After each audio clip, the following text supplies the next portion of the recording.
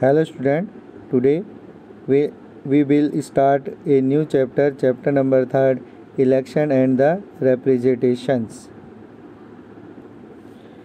Let us begin election and democracy जो democracy है यानी कि जो लोकतंत्र है और उसमें चुनाव कैसे होते हैं उनके बीच में क्या रिलेशन है उसके बारे में हम अब पढ़ेंगे. Let us begin by asking our our self two simple question about election and democracy अगर हम देखें, अगर हम अपने आप से पूछें कि दो ऐसे क्वेश्चन जो डेमोक्रेसी और इलेक्शन के रिलेशन को बताते हैं। First can we have democracy without holding election क्या हम बिना चुनाव के डेमोक्रेसी यानी लोकतंत्र की कल्पना कर सकते हैं? Second question is can we hold election without having democracy और दूसरा क्वेश्चन ये है कि बिना लोकतंत्र लोकतांत्रिक व्यवस्था के क्या इलेक्शन हो सकते हैं? यानी कि इसमें जो आपस में जो डेमोक्रेसी और जो इलेक्शन है उसके बीच में क्या क्या क्या रिलेशनशिप है? क्योंकि हमारे मन में ये प्रश्न उठता है कि डेमोक्रेसी बिना इलेक्शन के यानी कि बिना चुनाव के लोकतंत्र कुछ भी नहीं है और साथ ही साथ बिना लोकतांत्रिक व्यवस्था के चुनाव भी नहीं हो सकते हैं। तो इन्हीं दो जो क्वेश्चंस हैं उस पर हम आ, आज हमारा टॉपिक बेस्ड है let us have a discussion in the classroom on both these questions by using example for what whatever we have learn so far in the previous class first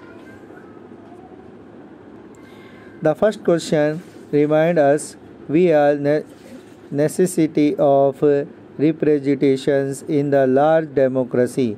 All citizens cannot take direct part of making every decision हमने पढ़ा है कि जो democracy है, उसमें हम देखते हैं कि जो पब्लिक है पावर जो सारी होती है, वो पब्लिक के पास होती है। बट जो पब्लिक होती है, वो हर डिसीज़न यानी कि प्रत्येक निर्णय में भाग नहीं ले सकती है। मतलब हर निर्णय के लिए पब्लिक को पब्लिक उसमें डायरेक्टली इन्वॉल्व नहीं हो सकती है। Therefore representative are elected by the public इसलिए जो पब्लिक होती है, यानी कि जो जनता होती है, जनता अपने प्रतिनिधियों का चुनाव करती है ताकि उनके द्वारा निर्णय लिए जा सकें। This is how election become important और इससे पता चलता है कि जो इलेक्शन होते हैं, वो किस तरीके से एक बहुत महत्वपूर्ण होते हैं। Everywhere is think for India India as the democracy सभी तरफ़ हम देखते हैं कि जो भारत है, भारत एक लोकतांत्रिक देश है। Our mind in invariably turns to the last election election have today become the most visible symbol of the democratic process अगर हम देखें जो चुनाव हैं चुनाव जो डेमोक्रेटिक प्रोसेस है, यानी कि जो लोकतांत्रिक व्यवस्था है, उसका एक बहुत महत्वपूर्ण भाग है। उसे के बारे में बताता है कि किस तरीके से इस क्षेत्र में डेमोक्रेटिक प्रोसेस यानी कि लोकतांत्रिक व्यवस्था काम कर रही है।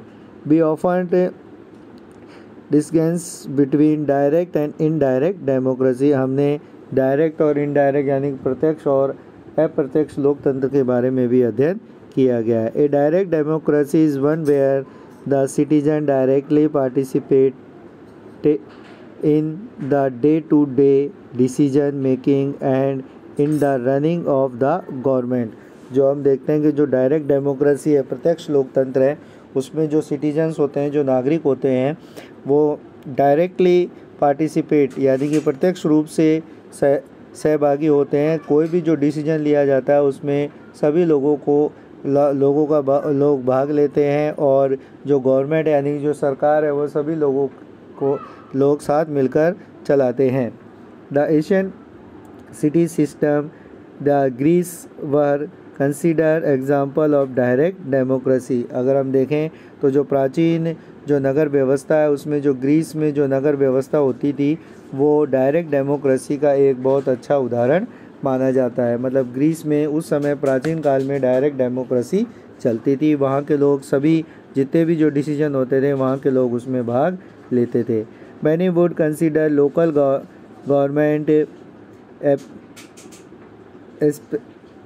especially gram sabhas to be the close close example of direct democracy अगर हम देखें तो जो डायरेक्ट डेमोक्रेसी है, उसमें जो लोकल गवर्नमेंट है, जो स्थानीय शासन है, उसके अंदर जो ग्राम सभा है, वो भी एक डायरेक्ट डेमोक्रेसी का हम उसमें एग्ज़ाम्पल मान सकते हैं।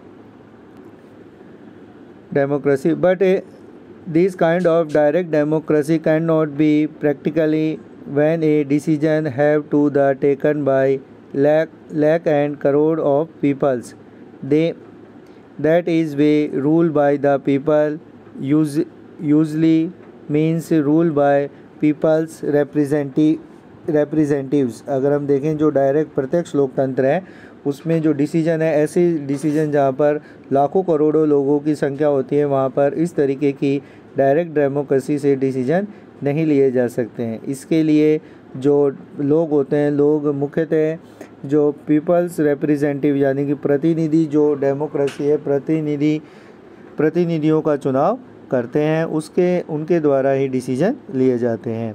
In such is agree agreement citizen citizen choice their representative वो in turn are actively involve in governing and administrating of the countries इसके साथ साथ जो एग्री एग्रीमेंट यानी कि एक जो नागरिक होते हैं, नागरिकों के द्वारा एक समझौते के रूप में अपने प्रतिनिधियों का चुनाव किया जाता है। वो गवर्निंग यानी कि जो प्रशासन, जो सरकार और प्रशासन को चलाने का, देश के लिए सरकार और प्रशासन को चलाने का काम करते हैं। The matter follow the choice the representative is refer to as in elections.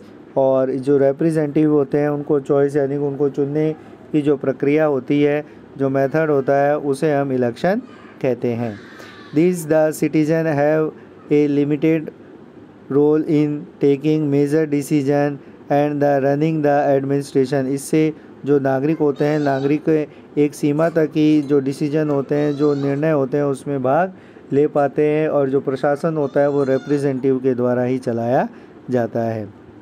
They are not very actively involve in making to the policies जो नीतियाँ होती हैं, नीतियों को बनाने में वो डायरेक्टली एक्टिव इन्वॉल्व नहीं होते हैं। Citizen are involve only indirectly जो लोग होते हैं, नागरिक होते हैं, वो इनडायरेक्टली इसमें जो इन्वॉल्व होते हैं। Through their election representative in this agreement where all major decision are taken by election representative the method by which people elected the representative become very important इसलिए जो रिप्रेजेंटेटिव होते हैं, यानी कि जो प्रतिनिधि होते हैं, उनका चुनाव बहुत ही ज़्यादा ज़रूरी होता है, क्योंकि लोगों के चुने गए प्रतिनिधियों के माध्यम से ही जो सरकार बनाई जाती है और जितनी भी जो पॉलिसीज़ होती है, जितने भी जो डिसीजंस होते हैं, वो इन रिप्रेजेंटेटिव के द्वारा ही लिए जाते हैं। सो दो जो डेमोक्रेसी है, उसमें इलेक्शन मस्ट मस्ट होता है। इसलिए इलेक्शन प्रोसेस जो होता है, उस, वो किस तरीके से होता है, वो एक डेमोक्रेटिक कंट्री की जो आगे का फ्यूचर है, उसको उस उसको उस पर डिपेंड करता है।